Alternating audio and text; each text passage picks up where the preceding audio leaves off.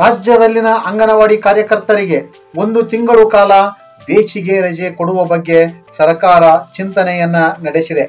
ಈ ಬಗ್ಗೆ ಶೀಘ್ರದಲ್ಲಿಯೇ ನಿರ್ಧಾರ ಪ್ರಕಟವಾಗಲಿದೆ.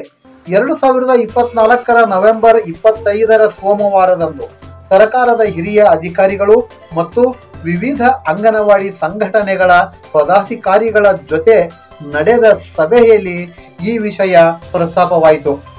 ಅಂಗನವಾಡಿ ನೌಕರರಿಗೆ ಬೇಸಿಗೆಯಲ್ಲಿ ಹದಿನೈದು ದಿನಗಳ ರಜೆಯನ್ನು ಕೊಡಲಾಗ್ತಾ ಇದೆ. ಅದನ್ನು ಒಂದು ತಿಂಗಳವರೆಗೂ ವಿಸ್ತರಿಸಬೇಕು ಎಂಬುದು ಅಂಗನವಾಡಿ ಕಾರ್ಯಕರ್ತೆಯರೆಲ್ಲರ ಪ್ರಮುಖ ಬೇಡಿಕೆಯಾಗಿತ್ತು. ಒಂದು ತಿಂಗಳು ಕಾಲ ಬೇಸಿಗೆ ರಜೆ ಕೊಡಬೇಕು ಎನ್ನುವ ವಿಚಾರ ಪ್ರಸ್ತಾಪವಾದಾಗ ಹಿರಿಯ ಅಧಿಕಾರಿಗಳು ಸಕಾರಾತ್ಮಕವಾಗಿ ಸ್ಪಂದಿಸಿದರು. ಹೀಗಾಗಿ ಅಂಗನವಾಡಿ ಕಾರ್ಯಕರ್ತೆಯರು ಮತ್ತು ಸಹಾಯಕಿಯರಿಗೆ ಒಂದು ತಿಂಗಳು ರಜೆಯ ವಿಚಾರ ಶೀಘ್ರದಲ್ಲಿಯೇ ತೀರ್ಮಾನವಾಗಲಿದೆ. ನಿವೃತ್ತರಾದಂತಹ ಅಂಗನವಾಡಿ ಕಾರ್ಯಕರ್ತೆಯರಿಗೆ ಗ್ರ್ಯಾಚ್ಯುಟಿ ನೀಡುವ ಕುರಿತು ಈಗಾಗಲೇ ತೀರ್ಮಾನ ಆಗಿದೆ. ಗ್ರ್ಯಾಚ್ಯುಟಿ ನೀಡಿಕೆಯ ವಿಧಿವಿಧಾನಗಳ ಕುರಿತ ಕಡತವು ಹಣಕಾಸು ಇಲಾಖೆಯ ಪರಿಶೀಲನೆಯಲ್ಲಿದೆ. ಈ ಬಗ್ಗೆ ಹಣಕಾಸು ಇಲಾಖೆಯ ಸಮ್ಮತಿ ದೊರೆತ ತಕ್ಷಣವೇ ಆದೇಶವನ್ನು ಹೊರಡಿಸಲಾಗುವುದು ಎಂದು ಅಧಿಕಾರಿಗಳು ಸಭೆಗೆ ತಿಳಿಸಿದರು. ಸಭೆಯಲ್ಲಿ ಈಚೆಗೆ ಗುಜರಾತ್ ಹೈಕೋರ್ಟ್ ನೀಡಿರುವ ತೀರ್ಪಿನ ಪ್ರಕಾರ ರಾಜ್ಯದ ಅಂಗನವಾಡಿ ಕಾರ್ಯಕರ್ತೆಯರು ಮತ್ತು ಸಹಾಯಕಿಯರಿಗೂ ಸರ್ಕಾರಿ ನೌಕರರ ದರ್ಜೆಯನ್ನು ಕೊಡಬೇಕು ಅಂತಕ್ಕಂಥ ಬೇಡಿಕೆಯನ್ನು ಕೂಡ ಪ್ರಸ್ತಾಪವಾಯಿತು. ಪೋಷನ್ ಟ್ರ್ಯಾಕರ್ನಲ್ಲಿ ಅಂಗನವಾಡಿ ಫಲಾನುಭವಿಗಳ ಚಿತ್ರವನ್ನು ಸೆರೆ ಹಿಡಿಯುವ ಕೆಲಸ ತುಂಬಾ ಕಷ್ಟದ್ದಾಗಿದೆ. ಇದರಿಂದ ಮಕ್ಕಳಿಗೆ ಶಾಲಾ ಪೂರ್ವ ಶಿಕ್ಷಣ ಹೇಳಿಕೊಡುವುದು ಸಾಧ್ಯವಾಗುವುದಿಲ್ಲ.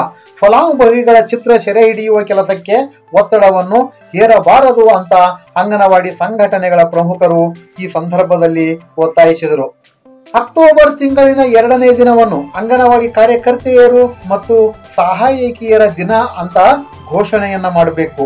ಈ ದಿನಾಚರಣೆಗಾಗಿ ಸರ್ಕಾರವು ಇಲಾಖೆಯಿಂದ ಐದು ನೂರು ರೂಪಾಯಿ ಅನುದಾನ ಕೊಡುತ್ತಿರುವುದನ್ನು ಮುಂದುವರಿಸಬೇಕು ಅನ್ನುವ ಆಗ್ರಹವು ಕೂಡ ಸಭೆಯಲ್ಲಿ ವ್ಯಕ್ತವಾಯಿತು. ನಿವೃತ್ತರಾಗುವ ಅಂಗನವಾಡಿ ಕಾರ್ಯಕರ್ತೆಯರು ಹಾಗೂ ಸಹಾಯಕಿಯರಿಗೆ ಸೇವೆಯ ಕೊನೆಯ ದಿನದಂದು ಇಲಾಖೆಯ ವತಿಯಿಂದಲೇ ಸನ್ಮಾನ ಮಾಡಬೇಕು ಎನ್ನುವ ಬೇಡಿಕೆಗೆ ಅಧಿಕಾರಿಗಳು ಒಪ್ಪಿಗೆಯನ್ನು ಸೂಚಿಸಿದರು. ಇನ್ನುಳಿದಂತೆ ರಾಜ್ಯದಲ್ಲಿನ ಎಲ್ಲ ಮಿನಿ ಅಂಗನವಾಡಿ ಕೇಂದ್ರಗಳನ್ನು ಮೇಲ್ದರ್ಜೆಗೆ ಏರಿಸಬೇಕು.